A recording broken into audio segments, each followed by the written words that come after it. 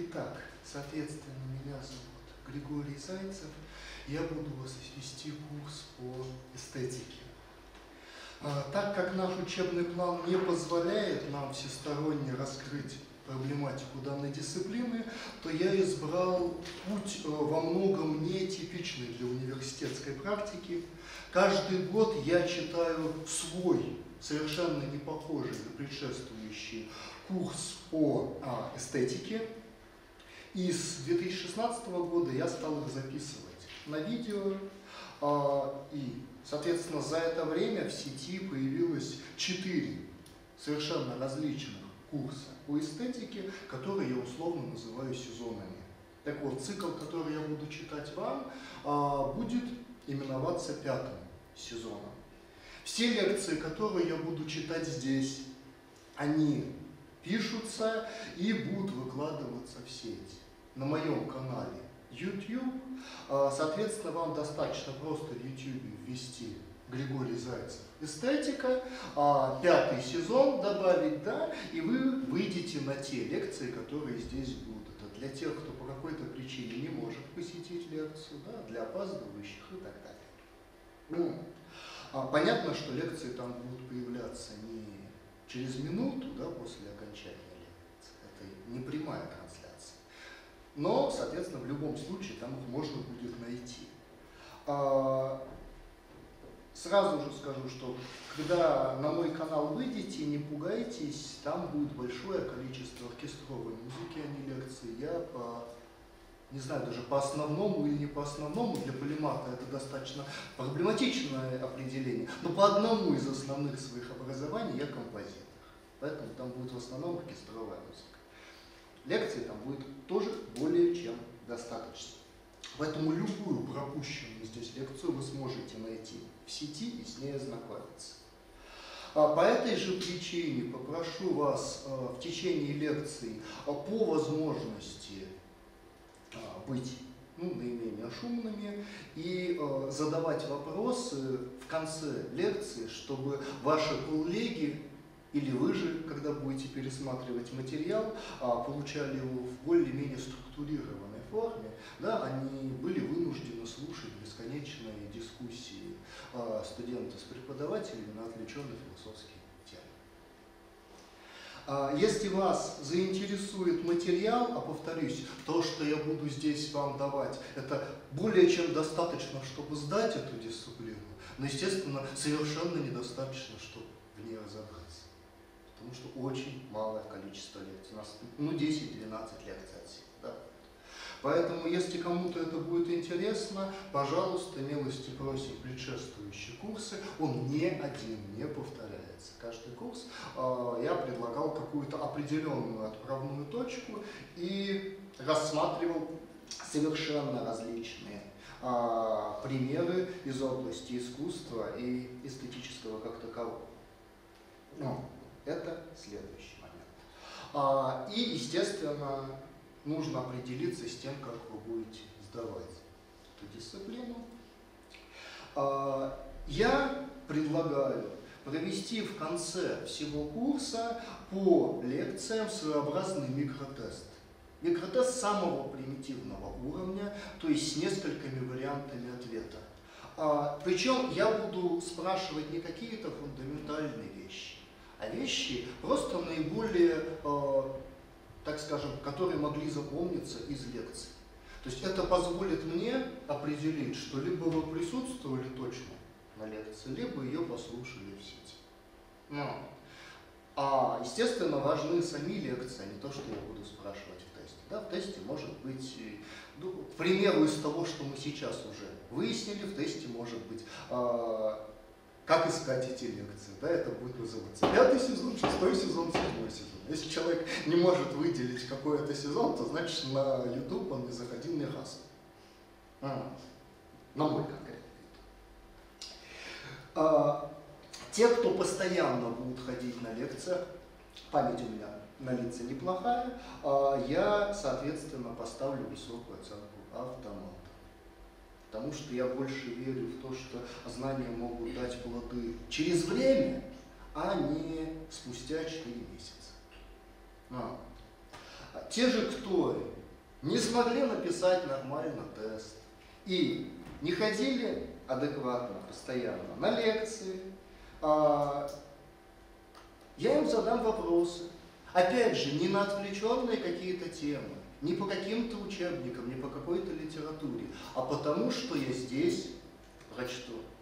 То есть, если человек не согласен с тем, как я оценил его тест, ну, мало ли, всякое бывает, вылетело из головы что-то, но я задам пару вопросов. И это может поднять или опустить ваш итоговый. А, в общем-то, с этой темой мы разобрались, ее мы закрыли. А, я специально это озвучил под камеру в самом начале, чтобы а, даже если те, кто здесь не присутствует, могли с этим сразу же да, ознакомиться и понять, как это будет происходить. Итак, а что же у нас, в общем-то, за предмет?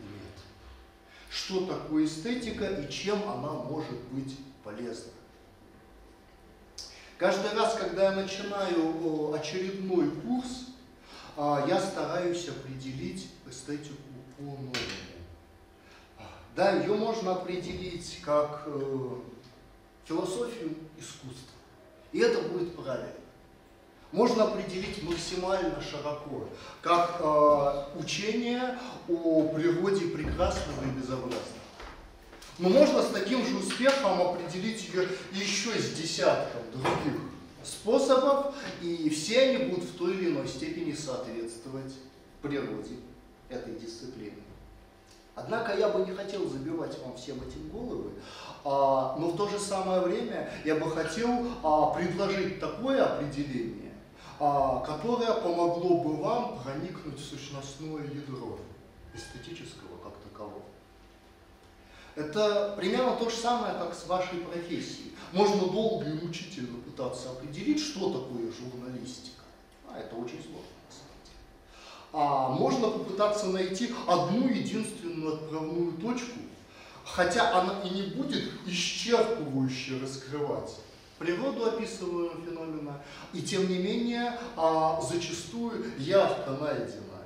Пример определения, а, определение не в смысле а, логическое определение, да, а, может зачастую помочь в большей степени приблизиться нам к сущности явления, чем очень-очень-очень много а, всевозможных научных выкладок.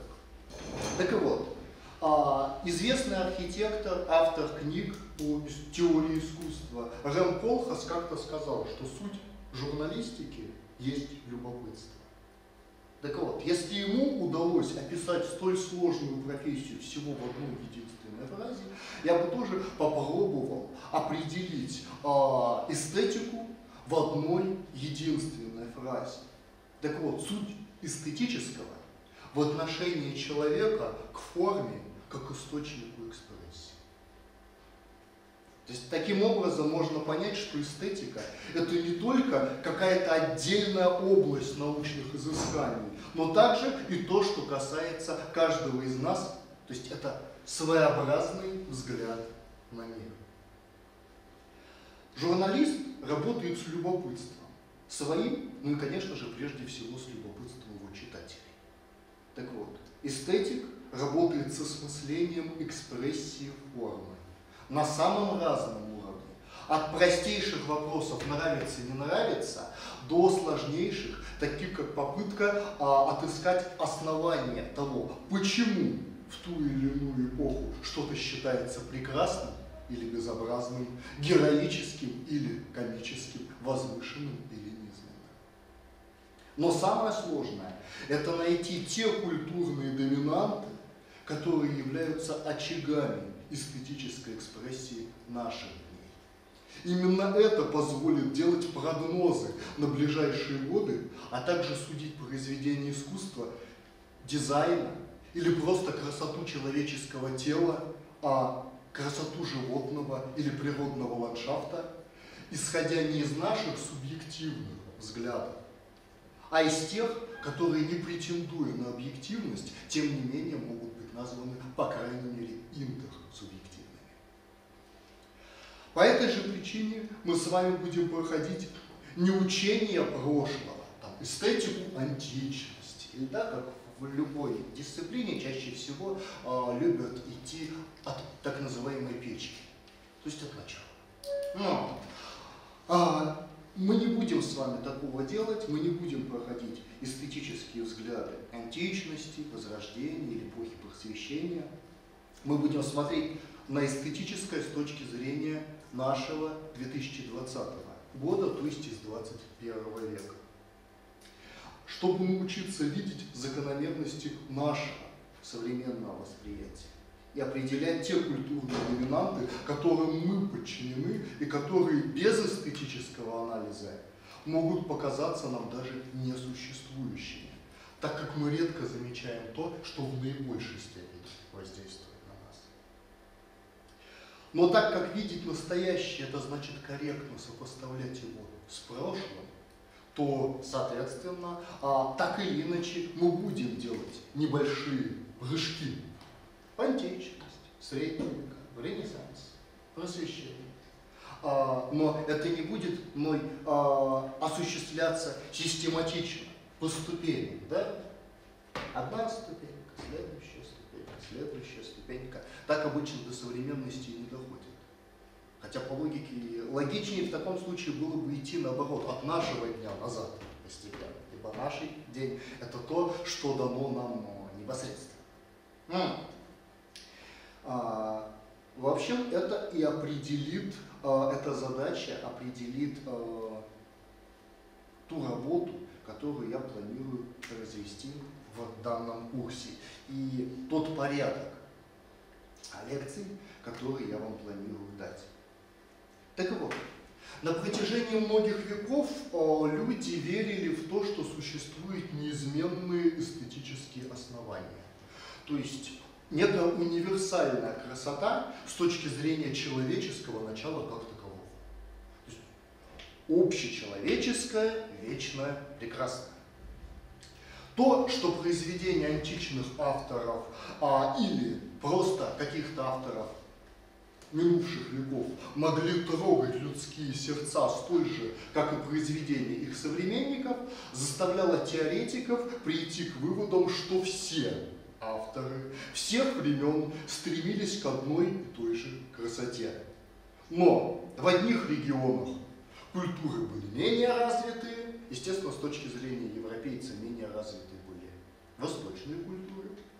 Вот. А в других регионах культуры были более развиты. Под самыми развитыми, естественно, подразумевалась Европа. Более того, считалось, что во все времена эстетический идеал красоты был доступен в разной степени.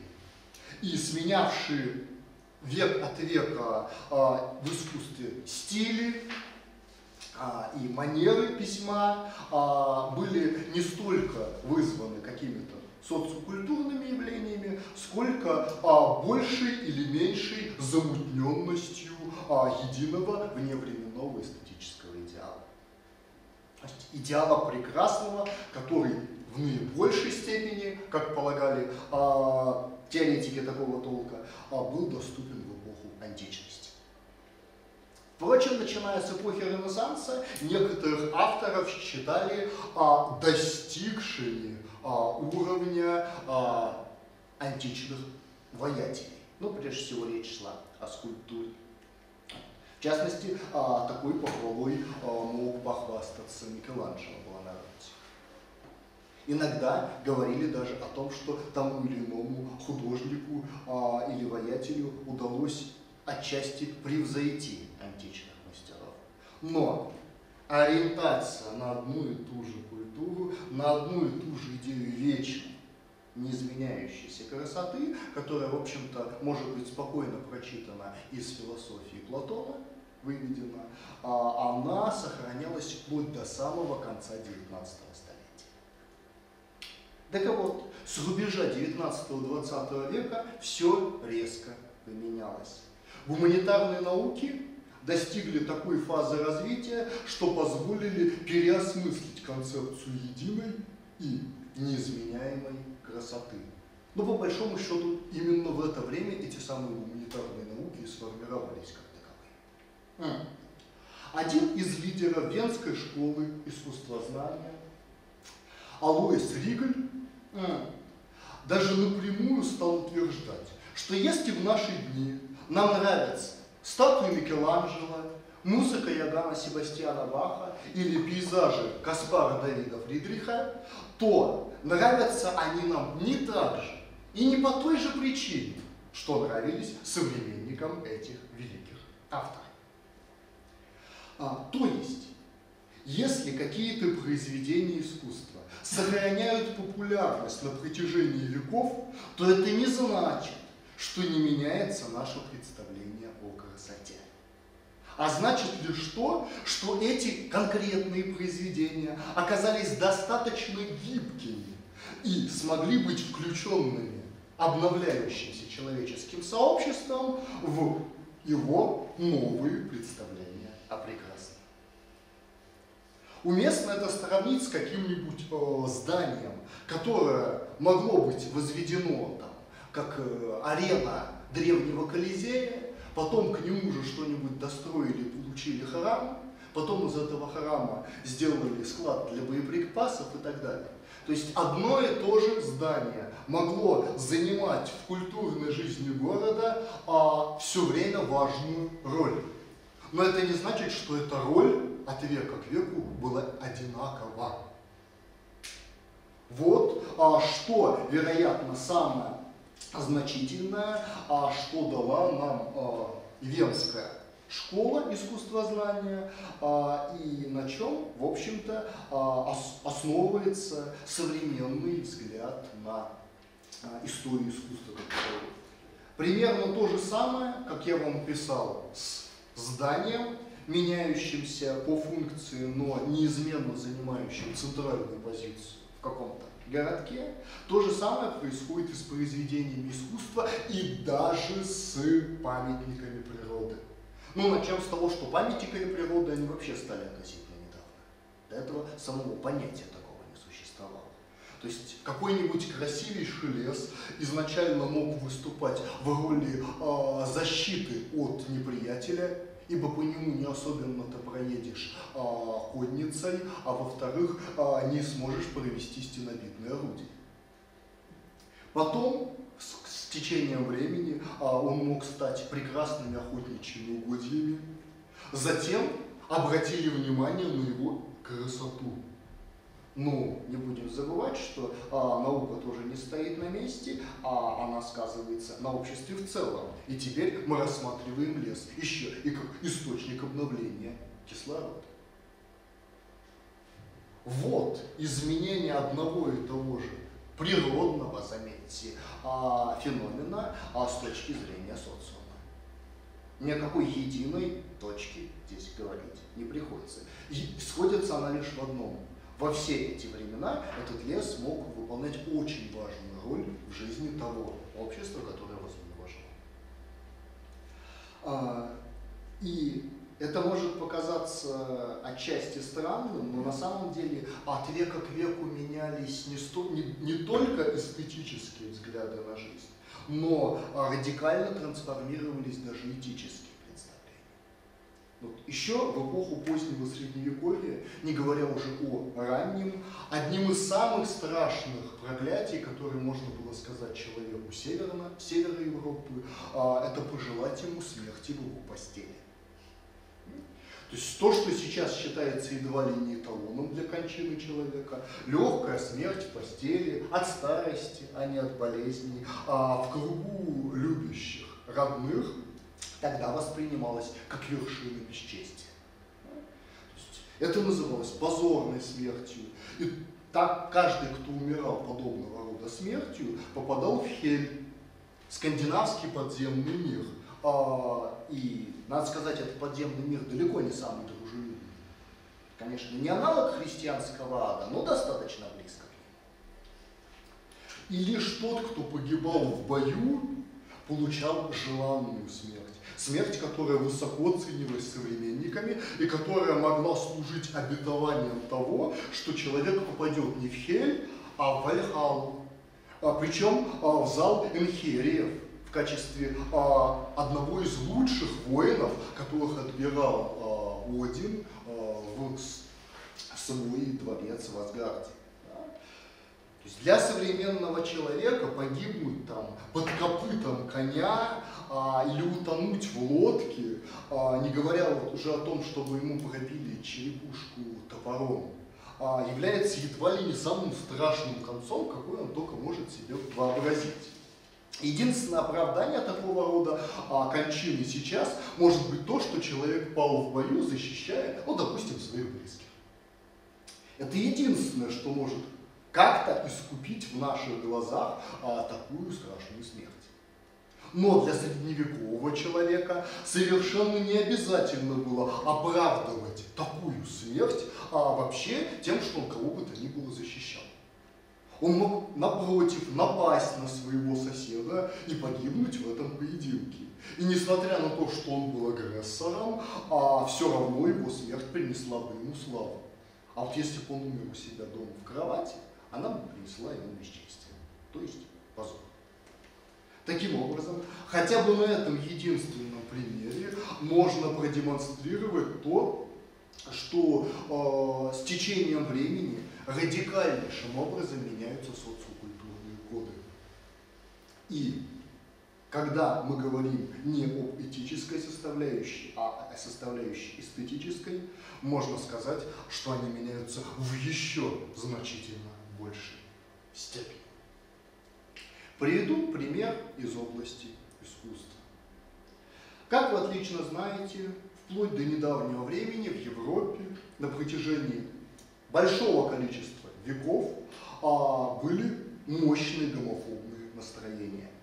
Гомосексуализм считался тяжким преступлением, и это было закреплено в законодательстве. Однако в области искусства могли появляться странные эстетические образования, в которых не только нечто э, родственное запрещенным в области э этики а, оказывалось разрешенным, но и попадало в категорию а, своего рода высшей формы проявления красоты. Одной из таких причудливых форм была барочная итальянская опера, в которой блистали кастраты. Особенностью данных развернутых сценических представлений, которые шли по 3, а то и 4 часа, было то, что там не только мужчин исполняли кастраты, которые пели высокими голосами, похожими на женские, а иногда даже выше женских голосов, но и роли женщин также исполняли мужчины кастраты. В одной из самых популярных опер XVIII века Ахтаксеркс Леонардо Винчи, не путать с художником да, Леонардо да, Винчи. А, Винчи это лидер неаполитанской, позднебарочной итальянской оперы. Так вот, в ней из шести персонажей пять это кастраты или как их раньше называли, сопранисты. И один единственный тенор. То есть э, мужчина, тоже поющий весьма высоким голосом. И публику того времени, которая нещадно боролась с любыми намеками на садомию, то есть гомосексуализм в обществе, не только вполне устраивали спектакли, в которых а, исторических героев, таких как Юлий Цезарь, а, Дарий или Ксеркс, или героев мифических, пели кастраты, по сути, высоким женским голосом. Их абсолютно устраивало не только это, их устраивало и то, что все любовные перипетии разыгрывались двумя мужчинами. Таким образом, мы сталкиваемся с совершенно уникальным а, феноменом, а, с тем, что эстетический, эстетическое образование, которое, надо сказать, просуществовало от начала 17 века до самого начала 19 столетия, именно как массовое явление, то есть больше двух веков. А, совершенно расходилось с тем, что было принято в обществе на уровне этики. Да, здесь, естественно, речи не шло о том, что есть, так скажем, прямые проявления а, гомофилии, но в данном случае э, мы отлично с вами видим, что никого не обманешь, что за женщинами скрывается за женскими образами мужчин. Уникальная, конечно, постановка, вот эта конкретно стиль Бухарета. Э, единственное, насколько я знаю, а, из обозримой нам современности, э, когда полностью эта опера воссоздана а, со всеми мужчинами, а не э, женскими голосами, как это пели до настоящего времени. То есть, понятно, что в 20 веке все эти арии исполнялись женщинами. Так вот, а к началу XIX века триумф кастратов померк, и далее на протяжении почти двух столетий эта традиция и даже простое упоминание о ней вызывало у публики скорее неприличную смешку. И только в наши дни, в том числе и на волне ЛГБТ-движений, ЛГБТ+, а когда предрассудки относительно ориентации и прочей пуританской ереси были отброшены, по крайней мере, передовой частью общества, данные оперы стали возобновляться в их исконной версии. Правда, теперь а, для исполнения этих партий задействуются не несчастные кастраты, а контратенора. Это аналог э, с природным голосом. Да, стала развиваться школа контратеноров, а, для них не, требуется никакая операция. Вот. И кастраты это были не евнухами, их часто путают. Да? Там речь шла всего лишь о пресечении двух артерий. Вот. Но здесь речь идет о людях, которые поют высочайшими голосами без какого бы либо а, хирургического вмешательства.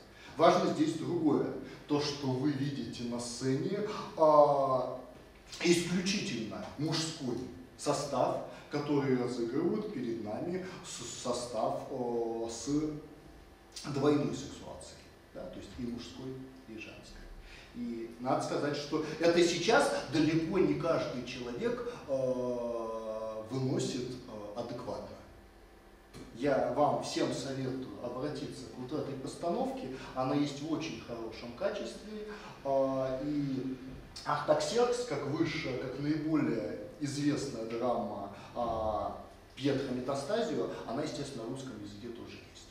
То есть вы можете просто следить по тексту. Более того, а, Ахтаксеркс Метастазио был написан конкретно к этой постановке, то есть для оперы Леонардо Винчи.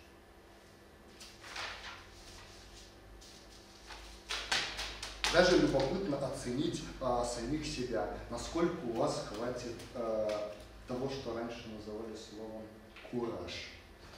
Но. Надо сказать, что если уж сказал о опере Артаксеркс, то вот это либретто э, метастазио послужило основой более чем 80 опер 18 века. Вероятно, это рекорд. То есть больше, чем на метастазию писали только на текст Библии. И есть, почти во всех этих операх блистали кастраты. То есть речь идет не об единичном каком-то случае, а об огромной, колоссальной традиции. Фактически каждый уважающийся оперный композитор того времени должен был написать оперу для кастратов. А, для кастратов писали даже молодой Моцарт и Россини, то есть композиторы более Что касательно этой оперы, еще пару слов о ней скажу. Если кто-то все-таки до, ней, до, до нее дойдет и решит ее действительно а, отсмотреть, а я это рекомендую, а, то вы обнаружите, что там а, появляется эмоция, более того сказал, преобладающая эмоция в музыке этого музыкального произведения, оперы, а, эмоция, которая на протяжении последних несколько веков в музыкальном искусстве отсутствует. Тогда ее определяли словом фурор.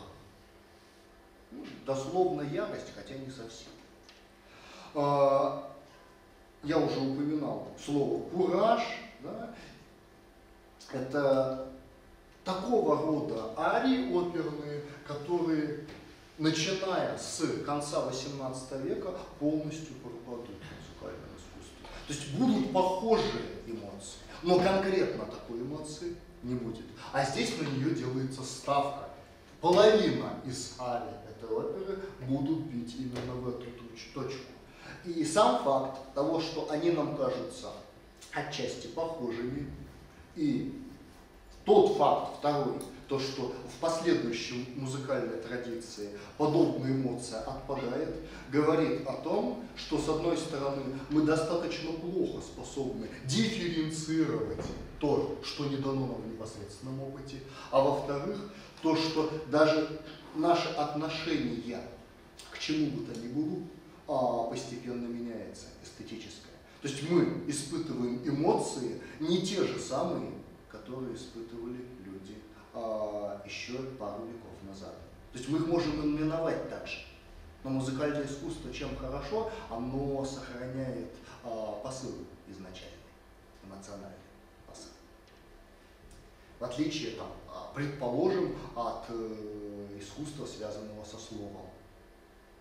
Ну, или от искусства, связанного в еще большей степени с живописью. Почему это так, можете посмотреть прошлый сезон моей эстетики. Я там детальнейшим образом как раз цветовой символизм отразил. Итак, мы пришли с вами к выводу, что представление о красоте и уродстве, о желанном и нежеланном на протяжении веков менялись. И подчас весьма существенно. То есть напрямо противоположно. Однако не нужно спешить и провозглашать, что каждая эпоха абсолютно независима от всех предшествующих эстетических тенденций.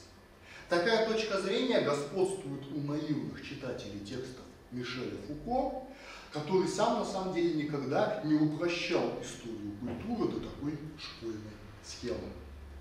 Помимо постоянных изменений, которые происходят в культуре, и природе эстетического существуют и определенного рода универсалии, но их мало. Да, они есть, но их весьма и весьма мало.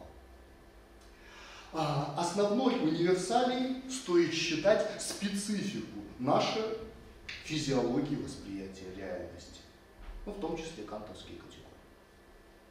То есть специфика нашего восприятия реальности физиологическая восприятие реальности от века к веку не менялось. То есть зрение у нас абсолютно такое же, как было у а, гоминид когда-то, из которых мы произошли.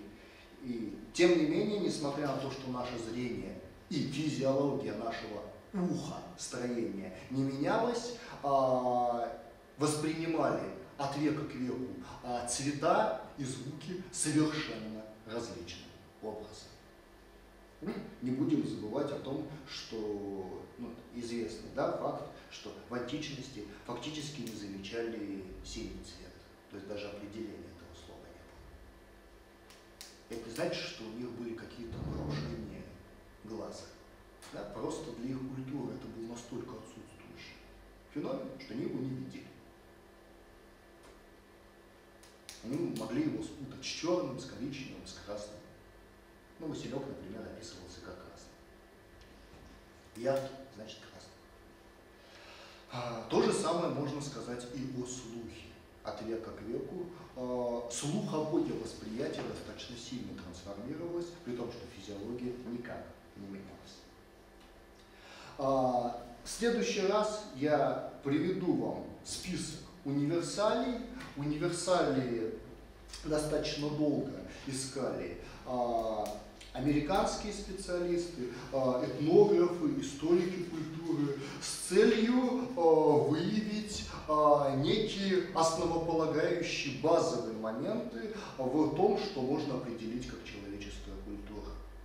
То есть, что не менялось в человеческой культуре. И надо сказать, что наскребли они их достаточно мало, хотя было задействовано просто неимоверное количество материала исходного, фактически вся информация о когда-либо описанных человеческих сообществах.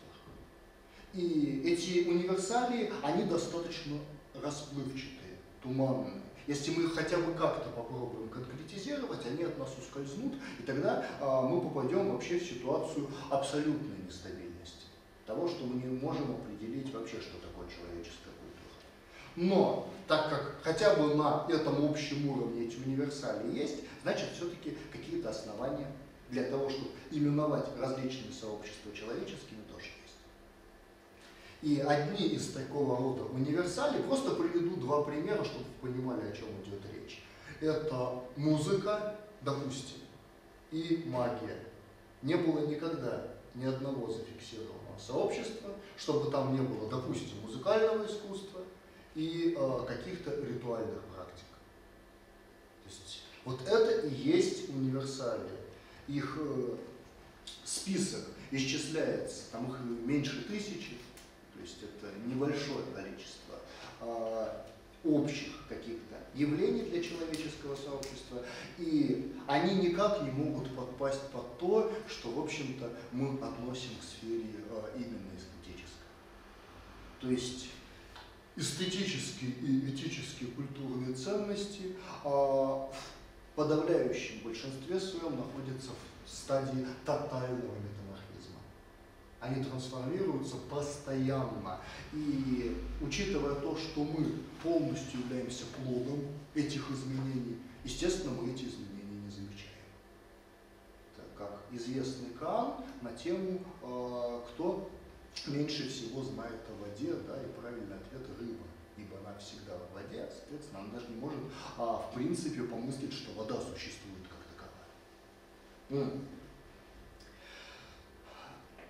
Универсалии же в таком случае являются своеобразными коридорами, по которым происходит постоянное перемещение культурных ценностей. И чтобы разобраться в том, культурном пространстве, в котором мы с вами находимся сейчас, и понять его основные тенденции, нам, естественно, потребуется вооружиться инструментами сравнительного анализа. Ну, если бы я вам не показал пример Сартаксиак сам Винчи, а, то навряд ли бы мы смогли понять, а, насколько причудливым могло это выглядеть в контексте, ну, допустим, начала 18 а это было массовое явление. Сейчас для нас это странно. Я преподаю э, в многих музыкальных э, заведениях, и далеко не все мои ученики могут слушать, в принципе, контртеноров. Потому что они поют зачастую вышесовато. То есть в аудиозаписи, пожалуйста, речь идет о видео, да, то есть как это выглядит. Это ломает определенный стереотип. Тогда я читалось английским пением. Такие певцы были в Ватикане.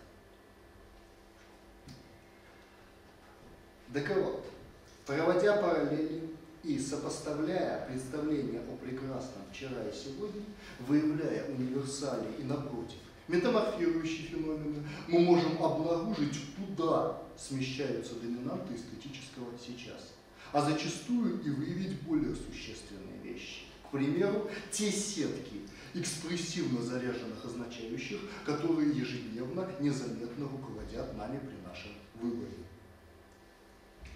Эстетика может не только научить вас более осознанно относиться к вашему представлению о красоте, не только помочь разобраться в произведениях искусства, но и главное, она способна научить нас быть более независимыми отслеживать и отсеивать те представления, которые вам навязываются различными внешними инстанциями, а значит, она может научить вас формировать свои собственные представления, которые будут основаны на вашем личном, осознанном и продуманном выборе, за который вы будете готовы нести ответственность, по крайней мере, перед самими собой. Что еще может дать вам эстетика? Эстетика может дать вам свободу и многообразие. И это не утверждение. Большинство людей считает, что а, существует лишь одно а, состояние сознания, которое они именуют бодрством. А, ну, сон, соответственно, это состояние выключенного сознания. Да, я говорю об осознанном состоянии. Так вот, однако при помощи эстетического самовоспитания можно добиться нескольких сотен таких состояний сознания, а в каких-то случаях даже нескольких тысяч. Каждому из нас известно, что в состоянии гнева а, мы ведем себя не таким же образом, как э, в состоянии, когда вы спокойны. В состоянии влюбленности не таким же образом, когда она отсутствует. А в состоянии скорби третьим образом и так далее. Таких состояний, меняющих наше представление о реальности и себе и изменяющих а, наши поступки, очень и очень много. Но очень сложно, во-первых, научиться их тонко дифференцировать, особенно такие, а, для которых не существует даже конкретного выражения в языке. Вы понимаете, что наш язык, а, характеризующий наши эмоции, а, если вы попробуете просто выписать себе в тетрадочку все, что вы помните об эмоциях, то он у вас где-нибудь на третьей сотне закончится. Если мы говорим о том, что таких состояний может быть несколько тысяч, а я полагаю, что все-таки пара десятков тысяч, то понятно, что словарный запас наш быстро иссякнет, а если нет определения, значит нету и памяти для фиксации этого чувства, этой эмоции, этого а, состояния сознания, если угодно. Вторая же проблема а, научиться вызывать эти состояния сознания произвольно. Тогда, когда это может быть вам нужно. Так как у любого состояния сознания есть как свои сильные стороны, так и свои недостатки. Если научиться использовать преимущества каждого из подобных состояний и избегать недостатков, подбирая состояние сознания, соответствующие а, окружающей вас ситуации, то можно научиться не только видеть этот мир в десятки раз более интенсивно, но и стать намного более эффективным. Казалось бы, какая может быть связь между этими состояниями сознания и эстетикой как философии искусства? Но на самом деле эта связь непосредственная так как только через эстетический анализ произведений искусства, анализ экспрессии формы, возможно научиться восполнять багаж тех состояний, которые даже не поддаются определению в языке. Как это делать? Мы будем учиться с вами и этому в том числе. Это не просто, но это вполне возможно. Проблема в том, что почти каждый из нас воспринимает произведение искусства не с точки зрения эстетики, а с точки зрения этики. Это закрывает путь к применению обозначенных мной выше техник изменения состояния сознания через эстетические модели реальности. То есть люди смотрят фильмы и читают книги и находят там определенный скрытый смысл, который считают этическим посланием автора.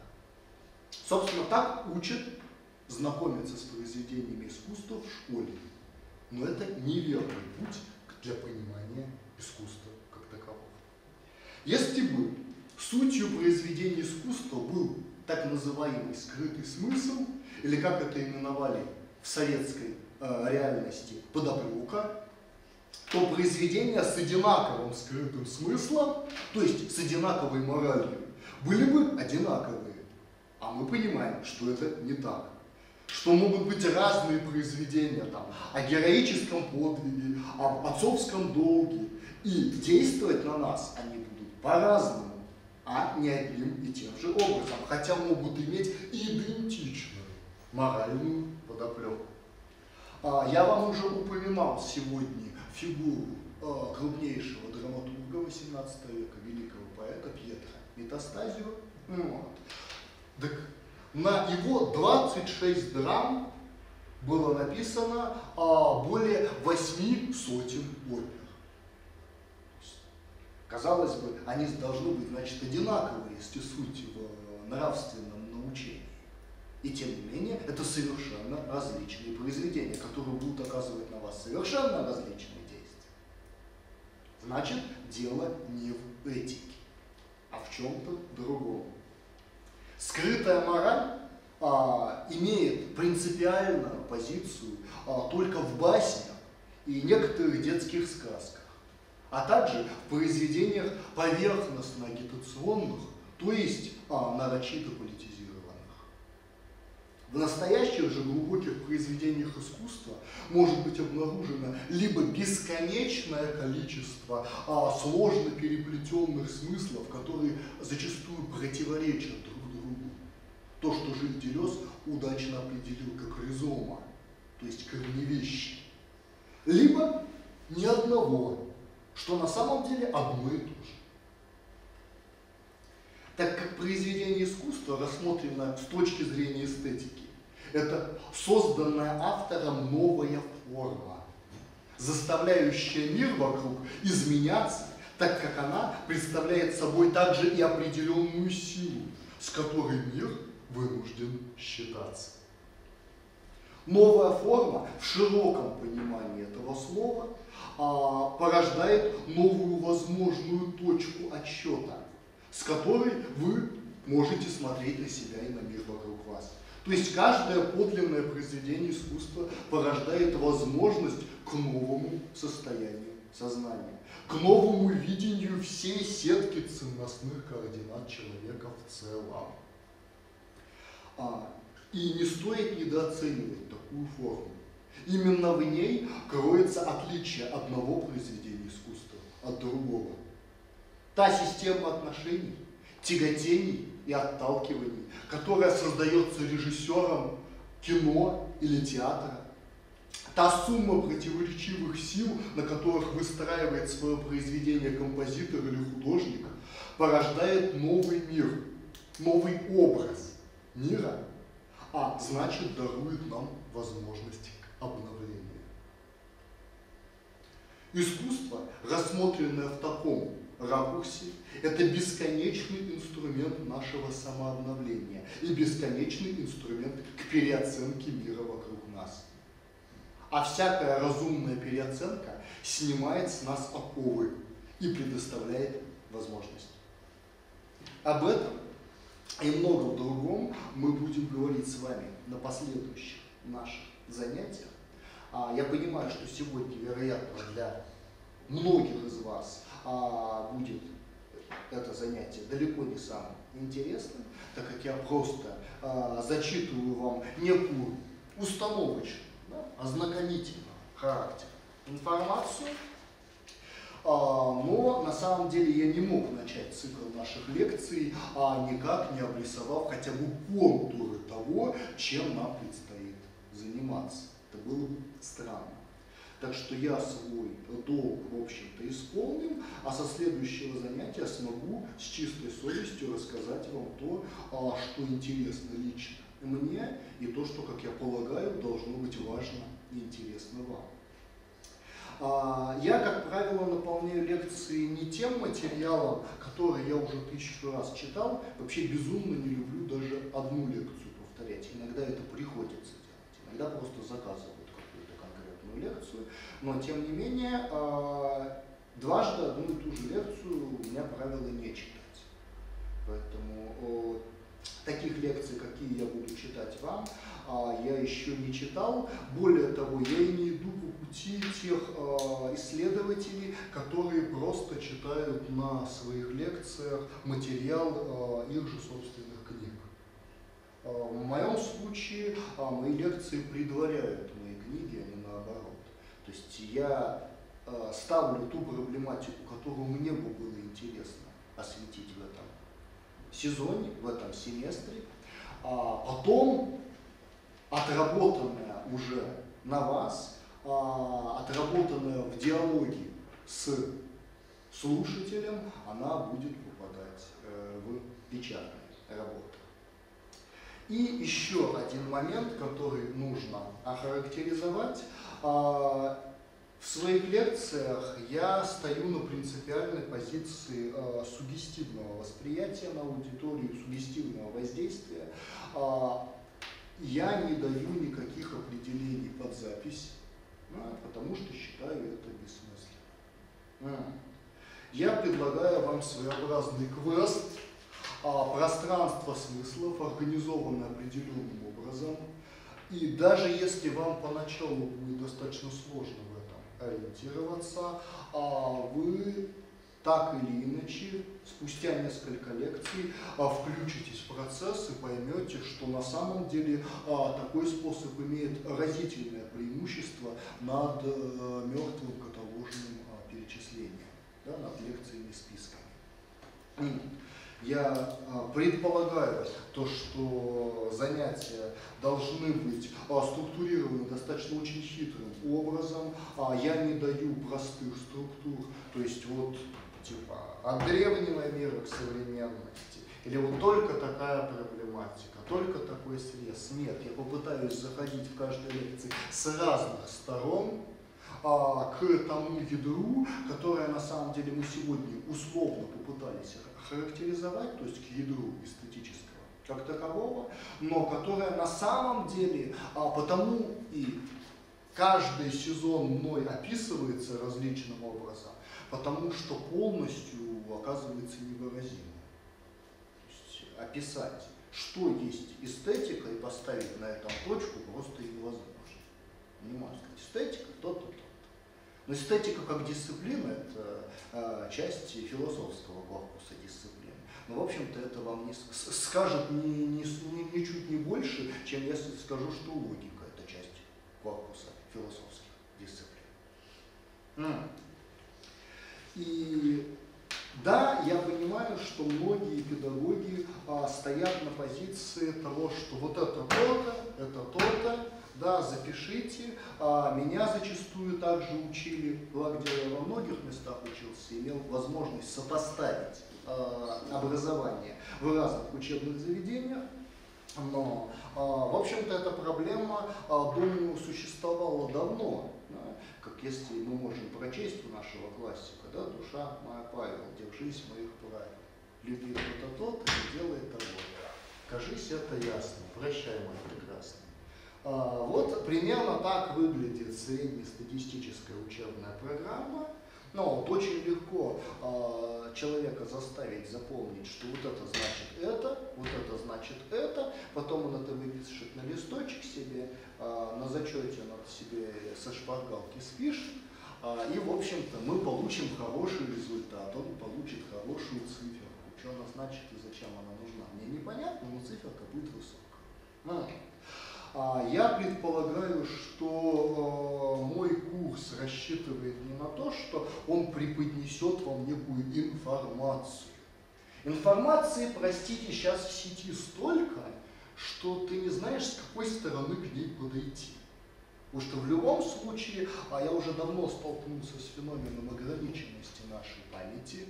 То есть если мы ее перегружаем, а если человек полимат, то он занимается сразу различными исследованиями в различных областях, вот, и не только исследованиями, и творческой деятельностью, а, то ты постоянно понимаешь, что вот он этот предел, ты его ощущаешь, где находится предел памяти. Да, он огромный, но он есть. Поэтому, а, в общем-то, смысл не в сохранении в своей голове информации, да, а в чем-то другом. Я полагаю, что смысл моих лекций в том, чтобы зародить любопытство, которое должно привести вас к большему, чем информация, а именно к знанию. Ну, знание – это не информация. Знание – это то, чем вы пользуетесь постоянно. Если вы останавливаетесь на красный свет перед светофором, да, а, если вы а, берете там, ложечку, чтобы размешать сахар, а, вот это знание. Если вы приходите вовремя а, куда-то, а на свою работу ежедневно. То есть это то, что входит на уровень а, сверхсознания. Вот это знание. Да, информация болтается на уровне а, нашего сознания как такового.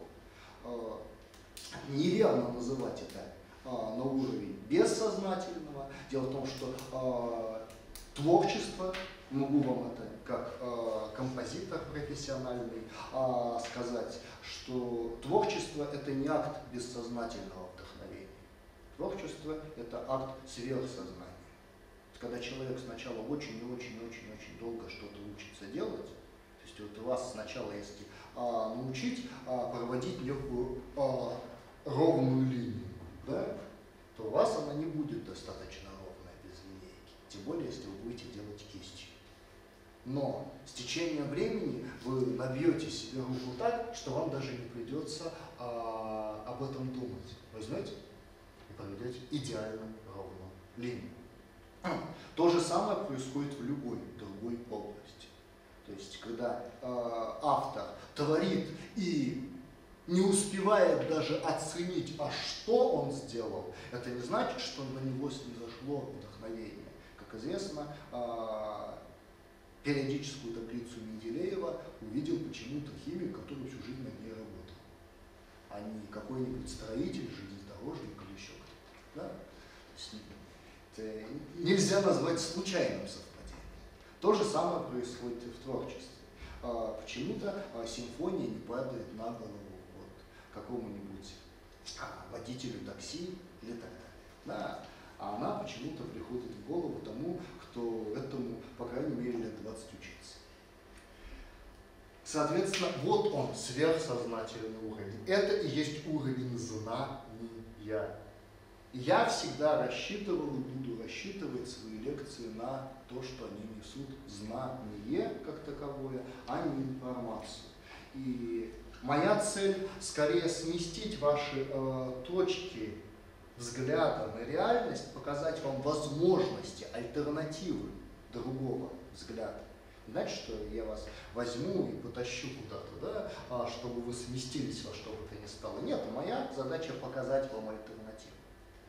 И если хотя бы на часть из вас это сработает, то я буду считать, что моя задача выполнена. Вот. Таким образом, мы будем а, пробуждать вас любопытство, и коль скоро Рэм Колхас определил именно таким словом суть журналистики, то где, как не в институте журналистики, соответственно, подобное практиковать. А, в следующий раз мы с вами а, обратимся к интереснейшей, на мой взгляд, теме. Это будет тот редкий случай, когда я материал таки повторю, хотя сильно его расширю. Эту лекцию я уже читал весной этого года на психоаналитической конференции. Она будет посвящена а, моей теории а, нашей природы восприятия. То есть восприятие окружающих нас форм а, как раз с точки зрения их универсальности. А, вообще я обычно на всех своих лекциях настаиваю именно на позиции парадигмального обновления эпох.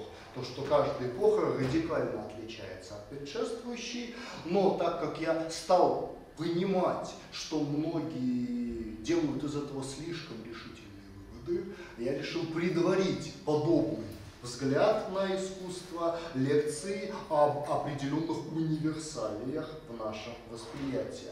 Да, это будет совсем архаичный уровень. Это уровень, по сути, хтонический, да, предшествующий человеческому как таковому. Более того, я буду это демонстрировать не только на произведениях искусства, и даже не столько на произведениях искусства, сколько на том, что мы бы отнесли все-таки к неживой природе но э, так как, э, понимаете, природа эстетического, почему мне не нравится гегелевское определение эстетики как э, философии искусства? Потому что произведение, потому что эстетика в большей степени сказывается, скажем, в большей степени ориентирована на наше восприятие экспрессии форм в целом, чем только в произведениях искусства.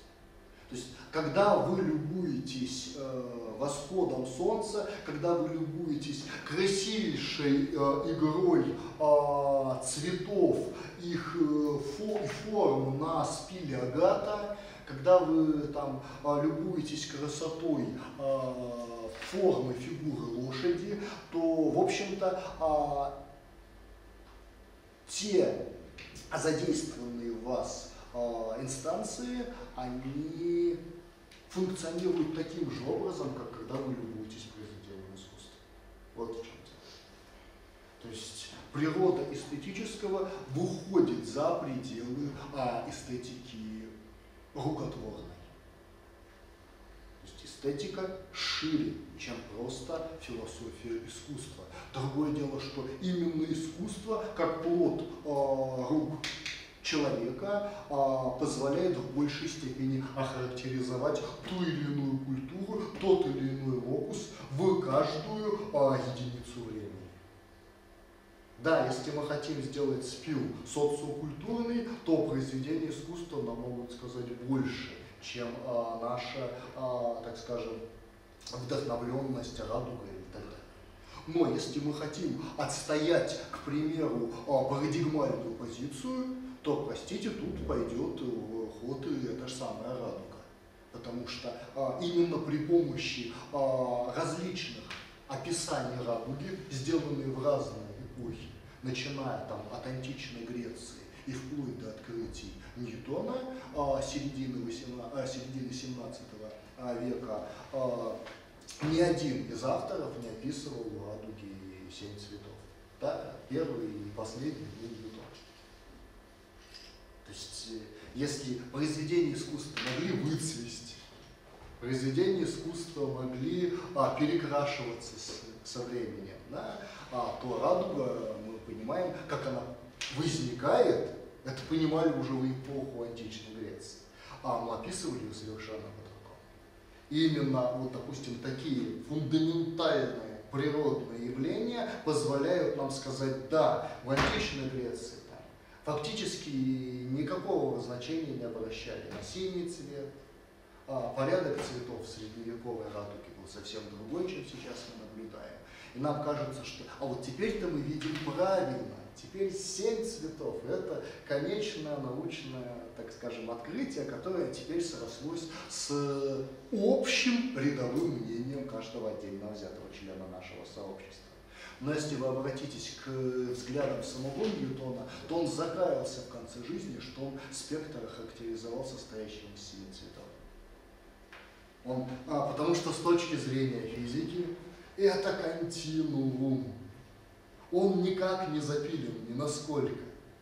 И если там а, древний человек мог поделить очень-очень тоненько, допустим, красный цвет и уметь отличать различные оттенки красного и мыслить их различно наполненными по символизму, а все остальные сваливать в один единый цвет, условно называв его темный, а, то сейчас мы просто пилим это совершенно определенным образом на 7 составляющих грани. Но это тоже неправильно.